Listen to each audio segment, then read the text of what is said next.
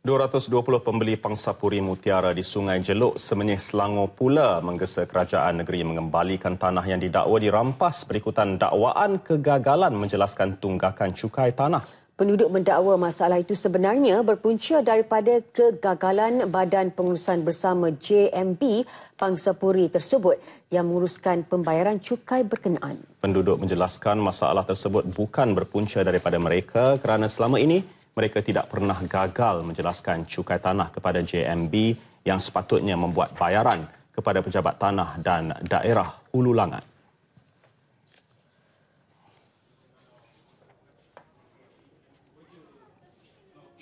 Ini ialah cukai tanah lah patut dibayar sebab kita kita share kita ini rumah uh, share medium cost, medium cost. ah so kita tak boleh bayar sendiri so duit kita kita pass to the JMB, mereka sepatutnya tolong kita bayar. Betul tak? Ha, kita tak boleh bayar satu-satu rumah mah.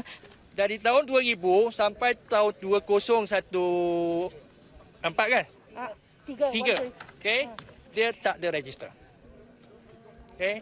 Dia ambil duit, tak ada register, ha. tak ada minute, tak ada meeting. Dan lepas tu tak ada accounts. Itu yang kita bawa pergi tribunal? Kita bawa dia pergi tribunal. Lepas tu dia bagi account. Dan account tu tak ada tarik. Yang di mana Commissioner O kata itu tarik yang dia buat. Lepas tu dia bubuh tarik sendiri. Dan lepas tu tak ada audit.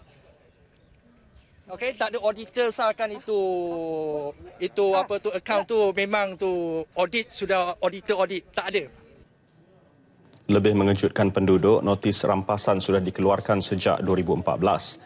Mereka yang baru mengetahui masalah sebenar menyifatkan tindakan tersebut sangat tidak wajar. Yalah, kita bimbangkan kita tak ada tempat tinggal lah. Hutang nak kena bayar. Tempat tinggal tak ada. Kalau kata kita beli apa-apa, adalah kita punya kan. Ini kita dah beli macam ni ha, tiba-tiba bayar dah nak habis. Dia nak ambil pula. Habis kita ni nak tinggal di mana? Duit yang kita bayar selama ini nak, macam mana kita nak dapat balik? Penduduk berharap kerajaan negeri dapat mencari jalan penyelesaian terbaik di sebalik isu rampasan tanah itu.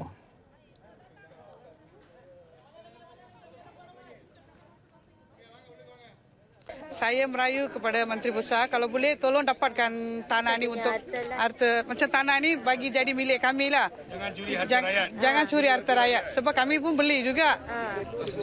Ah, senang-senang jangan ambil macam tu. Kalau boleh ah, janganlah sampai macam orang miskin macam tu dia orang rampas tanah orang tu. Sebelum ini penduduk membeli unit pangsapuri berkenaan pada harga antara RM20,000 hingga RM60,000.